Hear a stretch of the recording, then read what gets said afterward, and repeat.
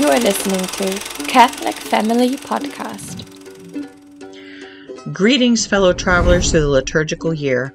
This is Lisa Davis with another Feast Day Quick Take.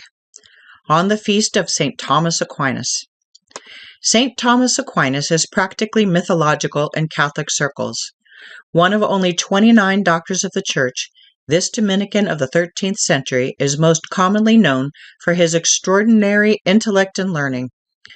Even in the secular world, he is lauded as one of the most influential philosophers of his or any other time. His writings were prolific, covering the gamut of theological and philosophical topics ranging from metaphysics, logic, epistemology, and the studies of language, psychology, politics, and natural law, and that is just the beginning. His is one of those hard acts to follow for Catholics trying to save their souls, much less embarking on true sanctity. His learning and accomplishment file him in most minds as one of the most extraordinary of saints. Admire, be amazed, but don't even think of imitating. How could you possibly? For heaven's sake, the man wrote the Summa, the encyclopedia of anything worth knowing. But St. Thomas wasn't holy because he wrote the Summa. He wrote the Summa because he was holy. He was a human contradiction, St. Thomas. Probably one of the smartest men to have ever lived, he was also one of the simplest and the most humble. Because he was taciturn and thoughtful, large and physically slow moving, his fellow students laughingly called him the dumb ox. And Thomas laughed right along with them, as self deprecating as they come, because he saw these truths in himself. The definition of humility being the acknowledgement of truth, however, Thomas didn't always laugh with them. And here's the famous story. St. Thomas was often so wrapped in contemplation of higher things that he became unfocused on the world around him, an unconsciousness that was a source of humor to his fellow Dominicans.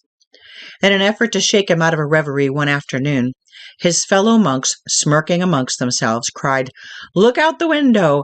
A flying cow! St. Thomas, startled for a moment, got up from his chair and went to the window to look. All his brethren burst into laughter that he'd fallen for the joke, but St. Thomas cut them off mid chuckle with his response, I would rather be a flying cow than a lying monk. His simplicity may have made him the butt of jokes early on, but it was his greater claim to goodness. It is said his final confession was like that of a five year old, its nature was so simple and innocent. G.K. Chesterton wrote, There is not a single occasion on which he indulged in a sneer. His curiously simple character, his lucid but laborious intellect, could not be better summed up than by saying he did not know how to sneer. Though it might seem that it would be the highest honor to be proclaimed a doctor of the Church, St. Thomas's greatest achievement had nothing to do with his intelligence or his writings. His scholarship was good use of the gifts God had given him, but purity and humility were his claims to sanctity, and the reason he is known as the angelic doctor. About a year before his death in 1274, our Lord appeared to St. Thomas and seeming to bestow the highest praise for his life's work, said, Thou hast written well of me, Thomas. Can you imagine?